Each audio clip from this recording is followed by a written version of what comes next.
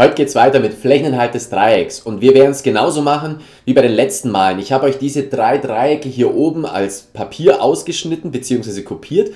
Alle anderen, die das nicht haben, die müssen es einfach über diesen Link herunterladen. So, und dieses Mal ist es ein bisschen anders. Wir können nämlich dieses eine Dreieck hier wir's, wo schon beschriftet ist, nicht so zerschneiden, dass etwas rauskommt, was wir schon kennen. Jetzt kennen wir ja Parallelogramm, Quadrat und Rechteck. Ich habe euch stattdessen zwei Dreiecke mitgebracht, die deckungsgleich sind, quasi kongruent.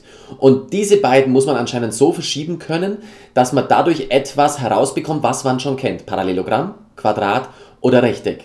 Das ist jetzt eure Aufgabe. Ihr müsst quasi das, was schon beschriftet ist, ausschneiden und ins Heft kleben. Und die anderen beiden, die müsst ihr so legen und zusammenpacken, dass etwas entsteht, was ihr kennt. Und dann wieder Aufgabe 2, von beiden den Flächeninhalt bestimmen. Das eine geht, weil man die Formel dafür schon kennt und das andere geht dann auch. Viel Erfolg!